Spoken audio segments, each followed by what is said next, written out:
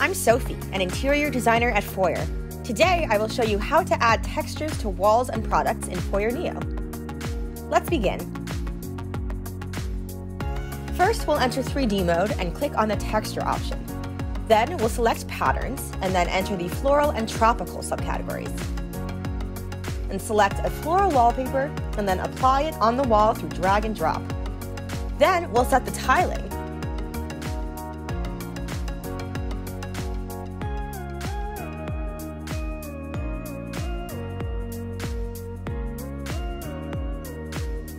and then apply the same texture to the chair as well so it looks more beautiful than before.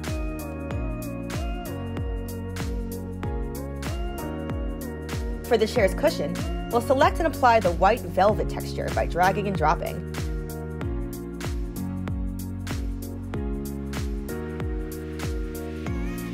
After this, the wood color of the chair is changed.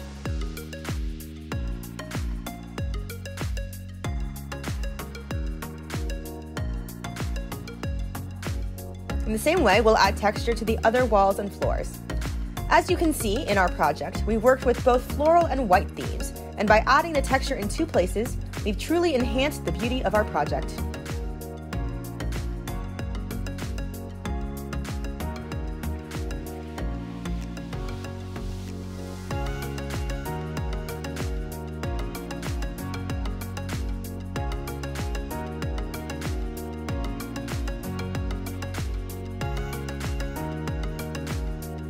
Thanks for watching this video. I hope you liked it.